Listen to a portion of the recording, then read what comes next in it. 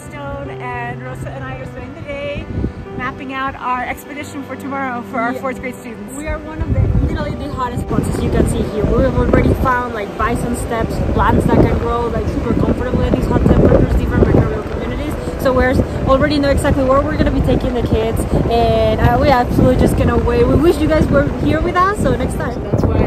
Yeah, it must be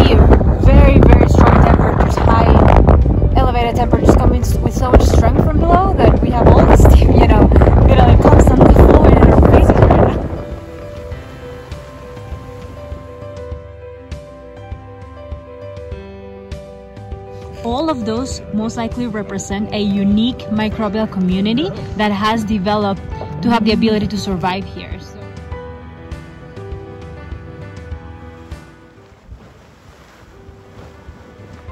Hi guys, we have a bunch of bison and baby bison right here. I don't know if you can spot the baby ones. We're just checking in. We spent the day at a lot of hot pots.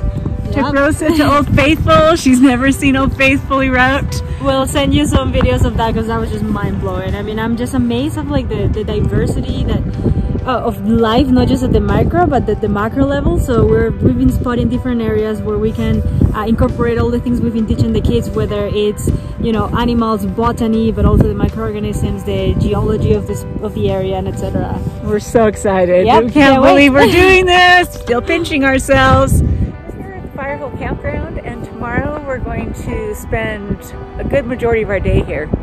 We have a professor from BYU Idaho coming and looking at macroorganisms with the students. Rosa, tell them what you'll be doing. I will be with the kids scouting the area for large microbial communities. So how do they look like under the water? What do you look for? The same for the trees around us. What does that mean to the ecology of the area, to the animals living here, to the plants that are here as well? And my husband and I will be talking about uh, the types of animals, identifying the animals that have been in this area.